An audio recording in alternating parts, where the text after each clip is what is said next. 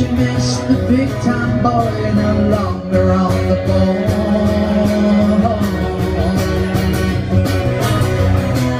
I'm just sitting here watching the wheels go round and round. I really love to watch them roll.